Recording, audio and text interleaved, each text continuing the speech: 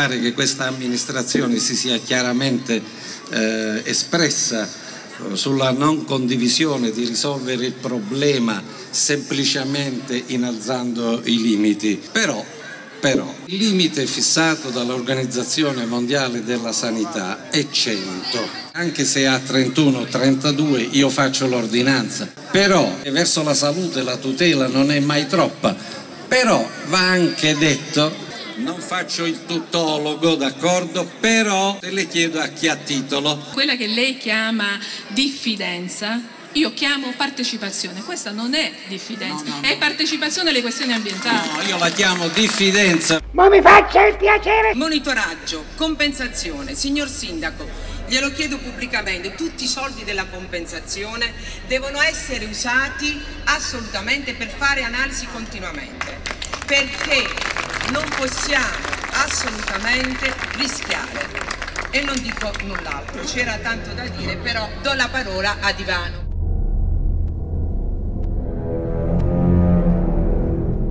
Io non devo difendere nessuno, però due sono i beni primari ai quali siamo tutti sensibili, riducendo la vita, come dire, a un concetto molto semplice, forse anche troppo materialista. A salute e a sacchetti.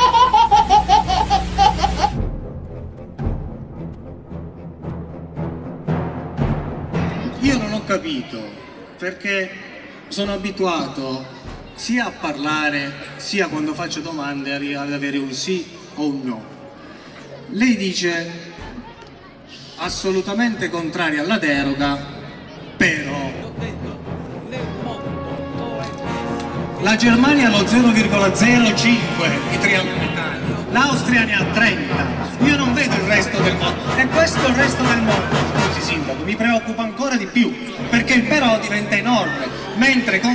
Confindustria chiede la deroga, ASM chiede la deroga, Pittella sta zitto, lei si mette sto però, a me preoccupa. Uh, un attimo, uh, dai no, mi fa parlare, sindaco. I cittadini hanno diritto alla parola quanto il primo cittadino.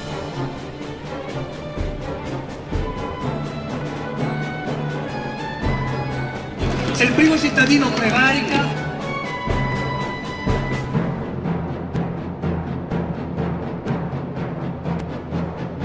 aspetta ha parlato di adesso mi fa parlare completamente grazie.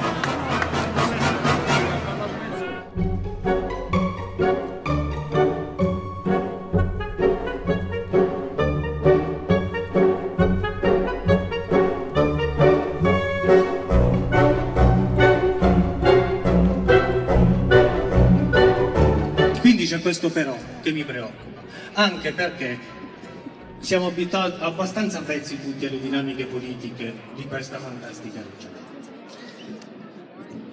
E quindi vorrei che lei chiedesse a Pittella questa risposta sul Scesimo e che la pretendesse da Pittella.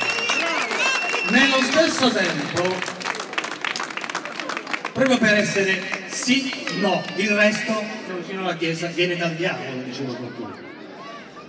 Uh, Detto questo, il problema dei trialometani della deroga in questa regione, dove le compagnie petrolifere da vent'anni fanno il bello e il cattivo tempo, dove gli impresari della spazzatura, della monnezza fanno il bello e il cattivo tempo, dove abbiamo discariche più di una metropoli, quando siamo nemmeno un quartiere di Napoli.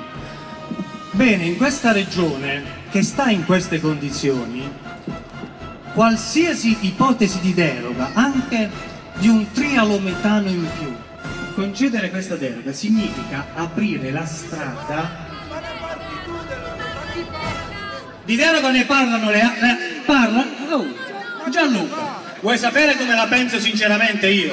Vuoi sapere come la penso? Vuoi sapere e eh, certo che stai parlando tu vieni tu. Sto parlando io parlo io. Chi ne parla di deroga?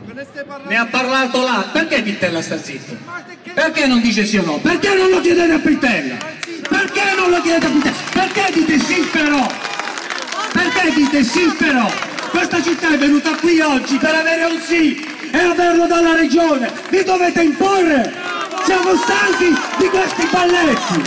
E finisco qua il mio discorso. Fate i seri!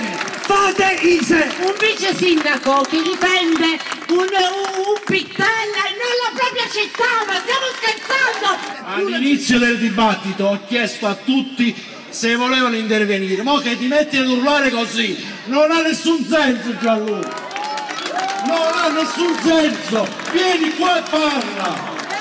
Oh, ma tu hai capito che noi abbiamo un compito, che è quello di rassicurare le persone? Vedrai, vedrai quando comincerà la vera comunicazione su chi vuol dare tranquillità. Oh, ma tu hai capito che noi abbiamo un compito, che è quello di rassicurare le persone? Più di rubinetto, allora videnti, la torneremo il denaro non si può sprecare. Oh, ma tu hai capito che noi abbiamo un compito, che è quello di rassicurare le persone? Gesù Domino